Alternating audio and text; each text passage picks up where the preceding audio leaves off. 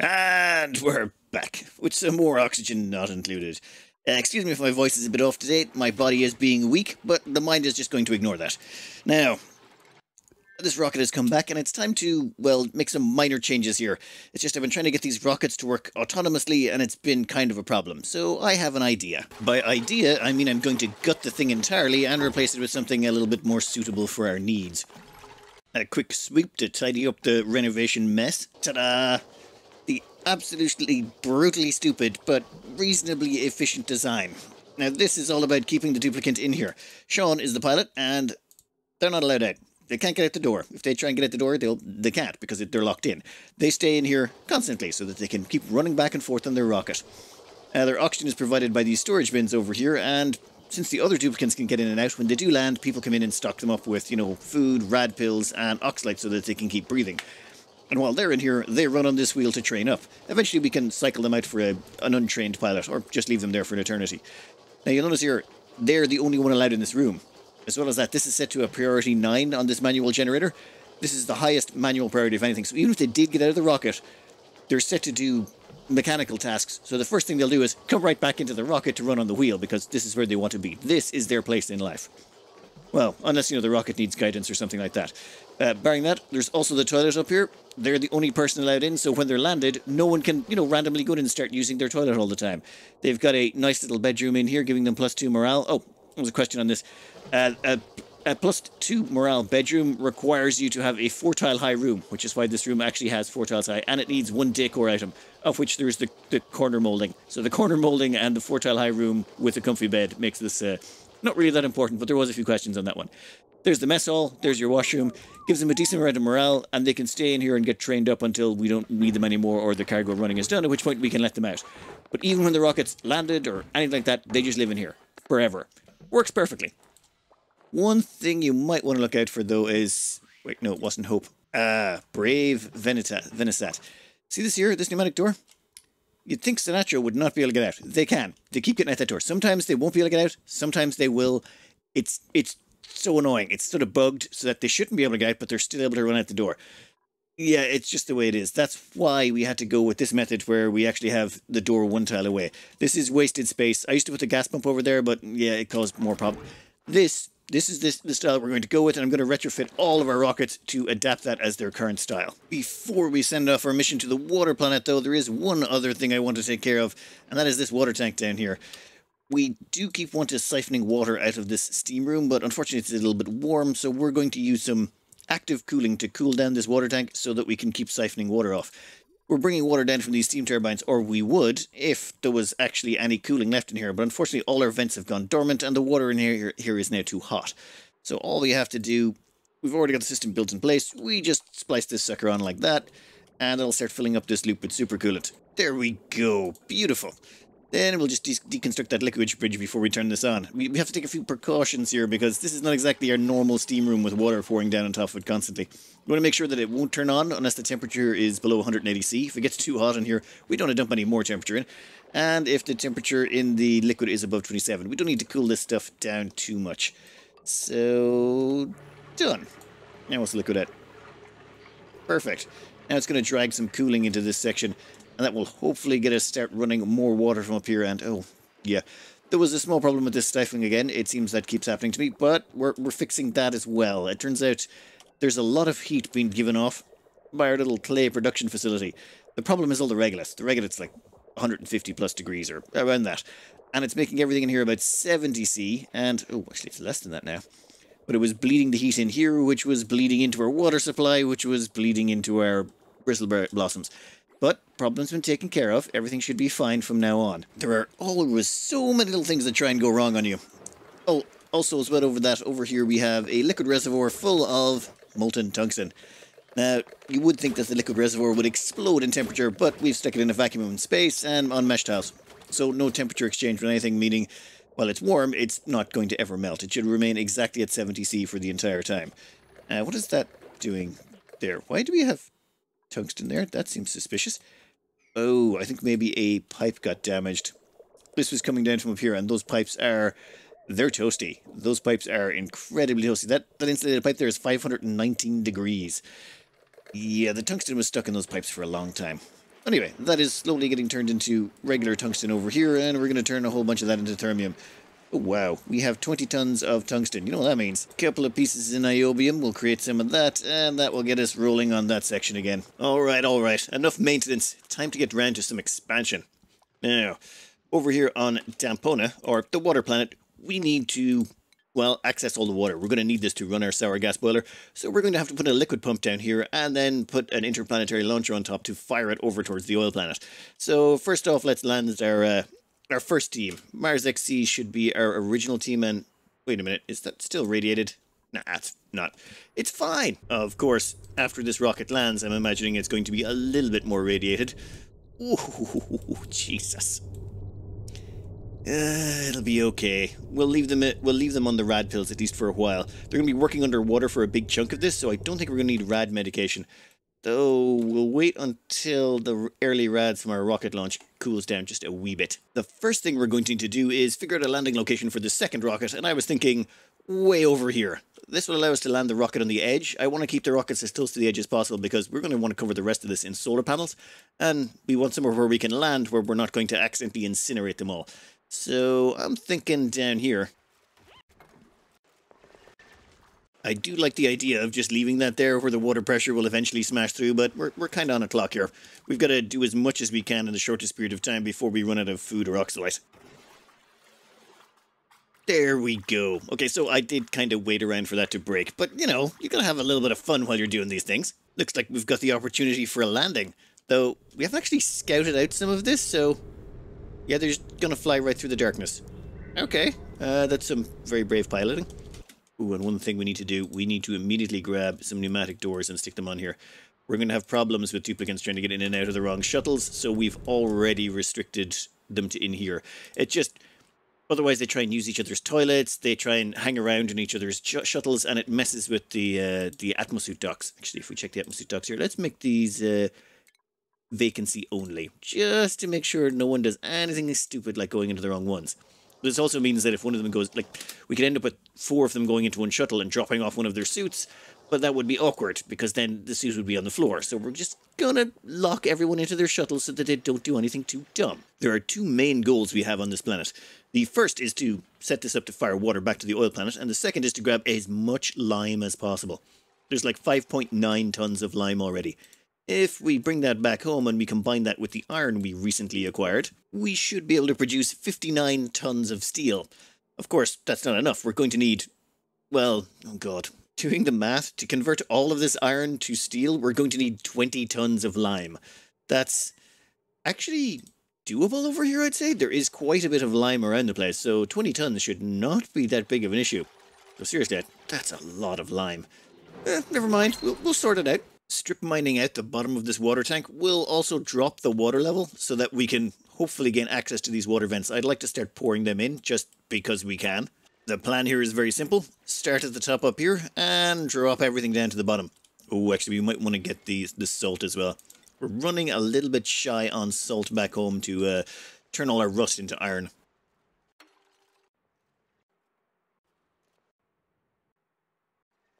We are almost done with phase one. Phase one is collect all the lime, all the salt, and store it inside one of the Spacefarer modules.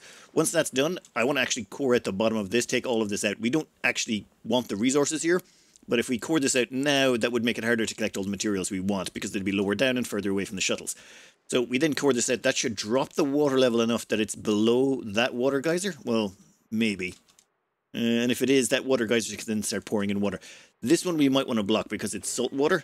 So we don't want that contaminating anything. Let's maybe put a few airflow tiles around there.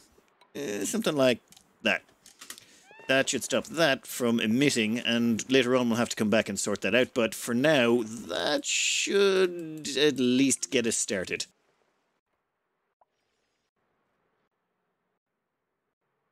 So down the bottom here, we have our liquid pump. This is where we're going to start pumping away this ocean. We're going to need to draw this out at about 5 kilos per second, maybe a little bit more, but that's worry for a later date. For now, we've managed to core out pretty much everything down as far as we want. All the water should flow down to this one spot. We're going to have to put in some filter though to get rid of the nuclear waste. Yeah, the nuclear waste is going to be an annoyance, but we'll sort something out with that.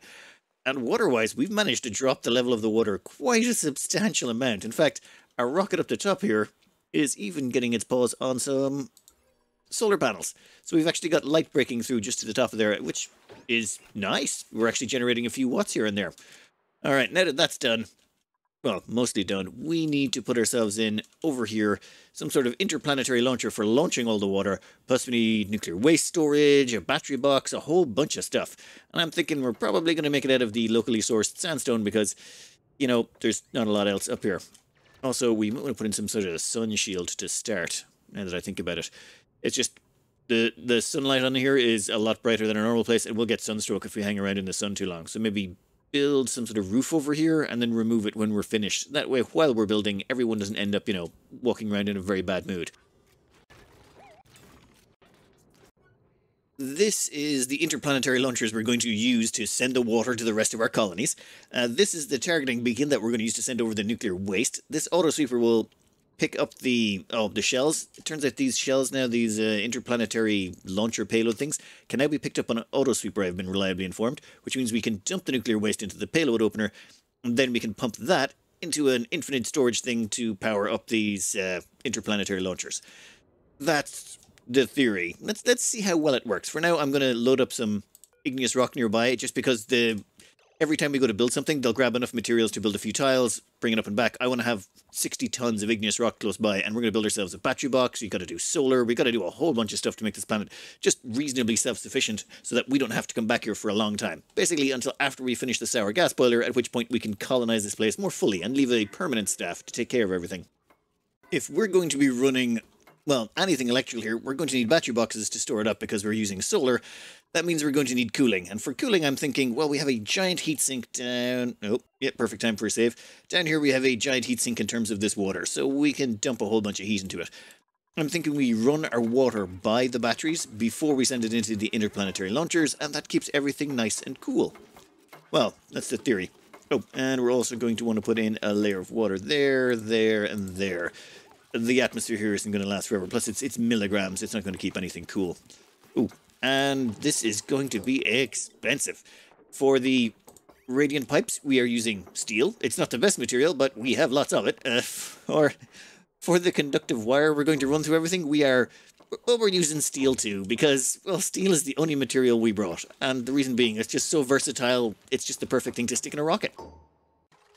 One bit that's going to annoy me if I was staying here would be those automation signals, because we haven't hooked up any automation to it. But you know what? We're not going to be here, so I don't care. Now, water. We're going to need water to come all the way from the pump at the bottom of the map, and that's going to be a long way down. Like, a long, long way down. Uh, oh, how long do we want this to go down before we start turning? Maybe all the way to the bottom might be the best bet. Yep, right about there, maybe? Yeah, there we go. That means the water will be coming all the way from the very bottom of the map.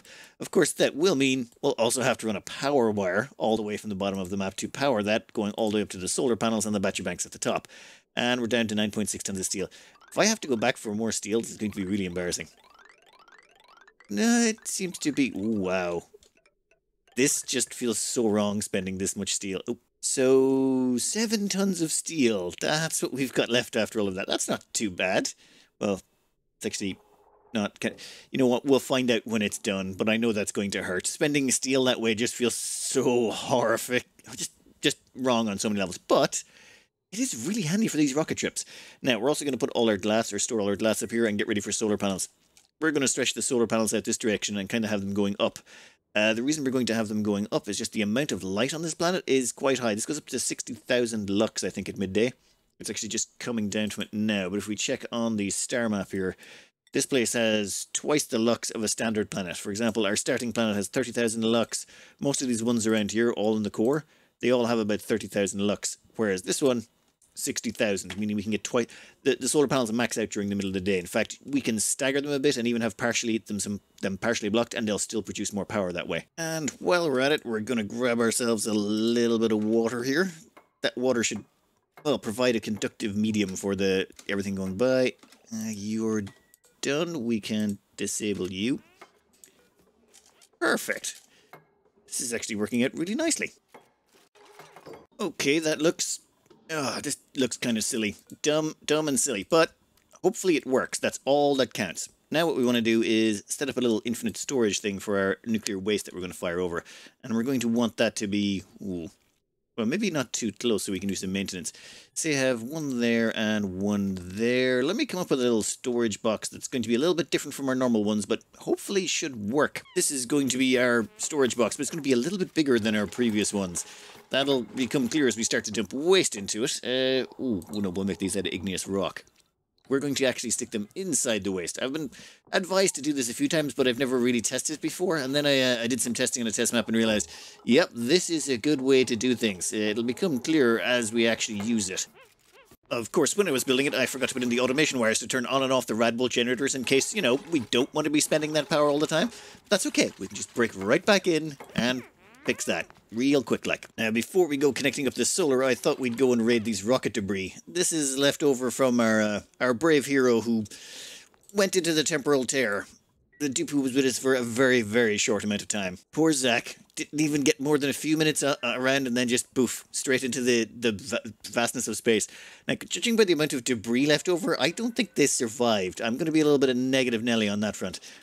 All right, uh, some of that can actually be swept up. There's some oxylite and a few things in there, but oh, never mind. We'll let that mess do its thing. We're going to start installing power, and for that, we're going to need solar panels. Uh, yeah, I think that was where I decided upon. And then what we're going to do is stagger them a little bit. Because there's so much light here, what we can do is just, even though we'll be covering a couple of tiles of each solar panel, we will still get full power roughly around daytime. So you can go like that. Yep and then maybe a few more ladder segments like this. Ooh, let me see. How are we going to build this up? That looks pretty good. That should cover most of our solar needs in this area. Now, unfortunately, it's going to be a little bit slow to start off, so I'm not hooking it up to the battery boxes just yet. And automation-wise, we've turned off, well, pretty much anything that will draw power except for the liquid pump. Liquid pump is the only thing we really care about right now. Once we get about the third solar panel up, I think then we'll hook up the power.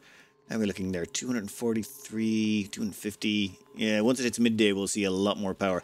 If Once we get the third one up, you know what? I'm going to hook it up now. Why not? There should be more than enough power. 380 watts. Yeah, there's plenty of power to run the liquid pump. And, yeah, we can see the battery starting to charge. And if we go down to the bottom of the map, we should be start to see water getting pumped. Yep, there we go. Now the important thing about this is I've put in a little system here so that when the water gets to the top it'll provide active cooling all the time even if we're not firing water. Oh, this is when we can prove something. This here is pulling in 380 watts of power. Those 380 watts, it's basically maxed out. And this one here is pulling in 316 watts of power. What you have to realize is this thing's actually covering two tiles of this. So doing a bit of messing around here, I've put four solar panels across the top and you'll see they'll take up actually slightly more space than five staggered ones. Now if you add up 380 watts by four and you add up 316 watts by five, my calculators tell me these five will generate 1,580 watts right now, and these four up here will generate 1,520. So you're actually only getting about 60 watts more out of these. However, you do have to remember it's just gone past midday, so let's see, the lux is gone, is gone past its peak, which is 60,000 lux. As well as that, this solar panel at the top will be generating 380 watts at all times. So you squeeze a little bit more power out of the same amount of space. And the more light you have, the more this works. So even though we've got 60,000 lux here, if you're on a planet with 100,000 lux, you're probably better off covering, oh wow, either probably about half the solar panel. Each solar panel is seven tiles wide. Oh, and that reminds me I should probably put those solar panels back where I got them from. Where's our water? Is there water up here yet? There it is. So the way this is going to work is the water comes through here, goes to the bottom layer and starts cooling everything down. It will pa pass to the bottom layer of chilled water there and then it goes up and rotates all the way around. And it should never stop. The reason being is we put in a little overflow here, a valve. So this is supposed to let through, what is it, 6 kilos? Anything over the excess of 6 kilos will get shunted out here. Here we are. And then that gets let through, let through this section and then we sort of slowly let it out at one kilo per second. So one kilo of water will always be passing through no matter what. And this makes sure we always have just one kilo of cooling constantly going through here to make sure this never overheats because this overheating would be bad. Wow, how's the batteries looking? Battery's looking real good already. Ooh, we're not even close to finished. Yeah, some people are going to get a little bit irradiated and a little bit sunburned, but I think it'll be fine. Nice. Now that we've got our power source sorted, a giant battery box to draw upon, we just need some nuclear waste. So, time to go back home. Well, a little bit of a... We're going to need a little doping of something else as well, and that would be some naphtha. So, where is it? Yes, exit. Grab us some naphtha right there and dump it in, and then we're going to start diverting all of our nuclear waste into our interplanetary launcher. That's, um... Yeah, that'll be... That'll probably be fine. I'm sure that'll be fine. Just have to figure some way of getting that up there. Hmm. Let me think. From now on, nuclear waste no longer goes to nuclear waste storage here. It's going to get pumped up into the interplanetary launcher.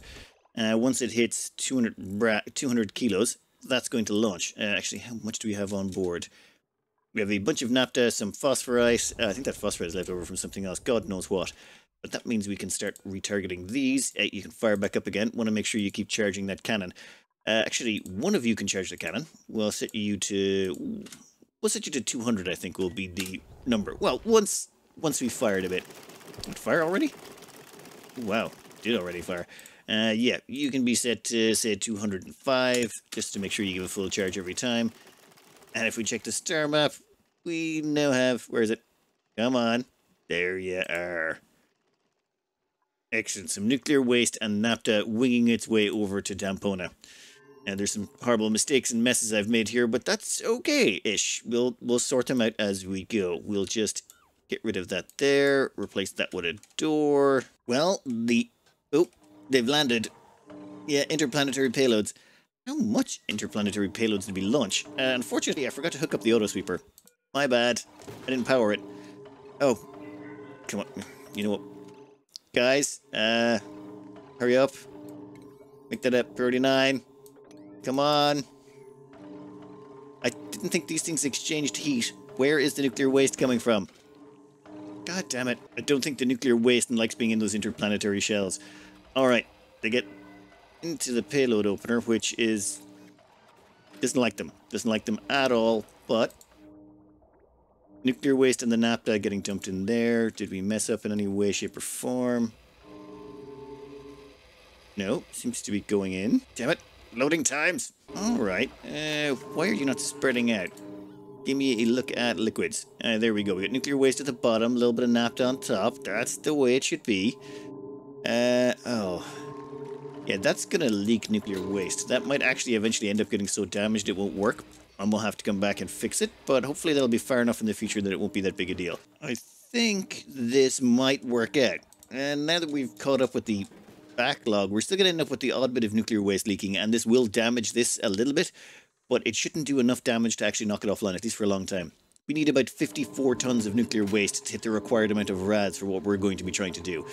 That will that will take a while. Um, we've got radiation incoming, but I think based on some math I did on how the reactor pumps out waste, it's going to be about 150 cycles before we get enough waste to run this at 10 kilo or 5 kilos of water per second. So that should be a little while, but that's actually not that bad. We've definitely been running on a lot faster since we don't have no longer been achievement hunting because I can just sort of run things through and let things run overnight if needs be. However, there are a few little things we need to take care of. Oh, what happened there? Why is that not filling up? It feels weird. Oh, there's only 15 kilos of nuclear waste. I think the next one will push that last blob over. I was worried the naphtha might end up in that corner as well, but no, I think... Yeah, nuclear waste is taking up that spot now. Excellent. Now, if we check the rad overlay, we should be getting... Yeah, there's 400 plus rads there, 400 plus rads there, and it's only going to keep growing. Perfection. We don't need to turn those on just yet because we don't need to start firing these. Uh, let's maybe fire one just to make sure it works. Actually, let's get shots out of both of them. We'll turn you on, and we'll turn you on. There you're going to fire the rad bolts across here and into the interplanetary launchers, and what are you guys doing? You know what? Let's just lock you out of there for a minute while those are charging up, which will be a while. Down here, we have made a few changes. One, we brought it, we built an exosuit forge because we had some reed fiber lying around over here. Why not repair a few of those atmosuits? We had a, a few damaged ones. As well as that, one second, we're going to get rid of those buildings there. I want to make an air gap between this battery box and where we're about to be launching our rockets. Uh, they can all go as well, and we're going to seal those in. And one last thing we're going to do here is we are going to set you to water. If you detect where are you? There we go. Water is selected. If this detects water going through the pipe, it's going to go to, uh, send a signal to a NOT gate to telling that liquid vent to turn off. I should mean all water should be allowed through, but anything else will get let through the liquid vent and dropped out of there, which should mean it should end up down here somewhere. So nuclear waste, things like that should not cause a problem. And oh my god, who dropped all of those? Guys, guys, pick those up. I want to put those back on the ship. You muppets. Ah, you can't leave them alone for two seconds.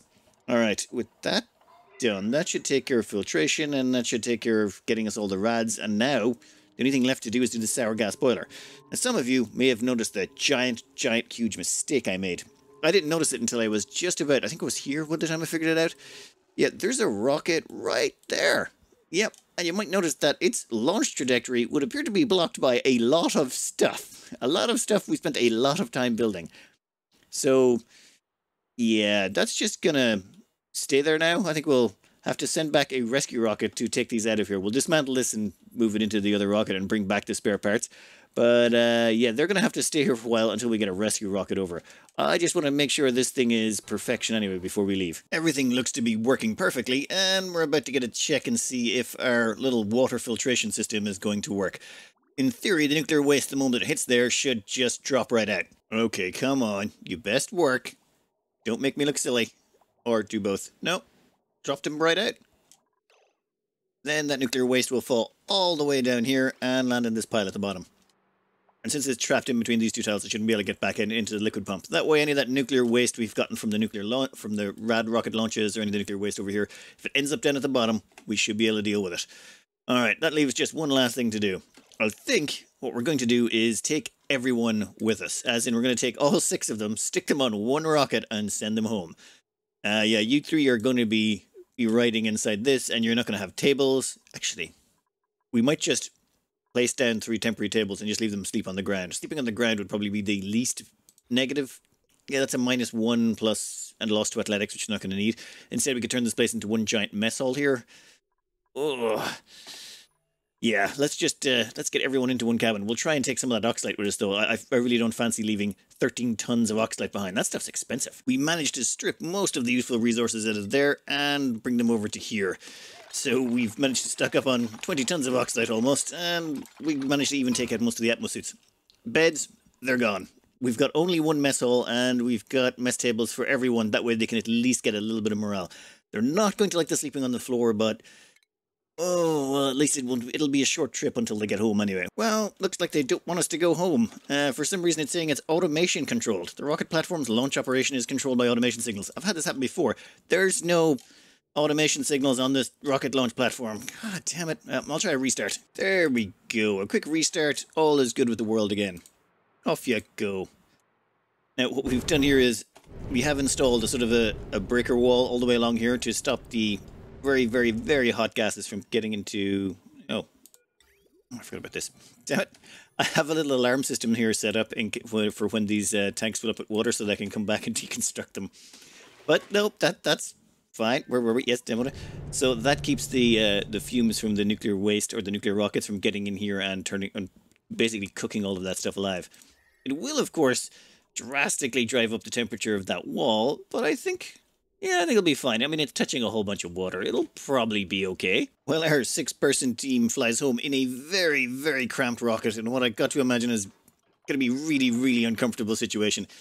Well, on the bright side, none of them are flatulent, so it's not like the worst thing in the world. But over here, let's just go over this little box here. And normally what I do when I'm making these is I put the rads on the outside, or I put the, the detectors on the outside, the rad bolt generators. Um, this gives us pretty good rad generation because we're getting it diagonally from over here or putting them on the inside was recommended in the comments multiple times, and I eventually got around to testing it, and yes, it's it's an awful lot better. I was worried that it wouldn't be quite nearly quite as efficient, or it'd be only slightly marginally better. No, it's about twice as good. Sticking them inside is really, really a good plan. Now, you do have to be a little bit more careful about stacking them in here because you've got to put in the nuclear waste and you've got to put in your liquid that's going to, well, in this case, we're using naphtha. You've got to put in your little blob of naphtha to make sure you can overpressurize the vent. But it seems to work out just fine, and then you have to fire the, the, uh, the bolts out diagonally. And right now, we're already up to ooh, about 90, about 95 rads per cycle, per well, 95 rads per cycle, which is quite good, but we need to be generating about 1,300 total, or about, say, about 700 rads out of each one of these, which is, is going to be a while. So we'll need 700 rads out of each of these to provide enough rad bolts to get the interplanetary launchers to launch the water over to the oil planet.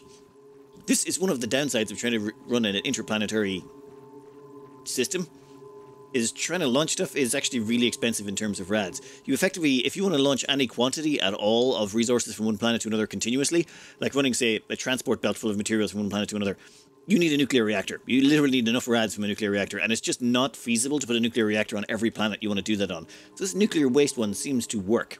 We might actually end up grabbing some of the nuclear waste out of this. I've been experimenting around on the side, and there is ways to get the waste out of here without letting it explode, and we should be able to pump it into other uh, other devices if we need to. With the return of this team, a few wonderful things happen. Namely, they've brought back 27.6 tons of lime. 21 tons of salt, which we can turn into. With all the rust we have, there'll be 60. 60 tons of iron will come out of that. So, yeah, we're just going to get a lot of steel out of this all around, which is wonderful. And that was the final step before we have to go to the oil planet. We do appear to have run into a problem, though. Um, no one's been repairing any of the lead suits. What? Why not? That's uh, really awkward. Now everyone's trapped inside. I need to let someone out to do some repairs. Someone's got to go into the steam room and grab a whole bunch of glass and bring it back out.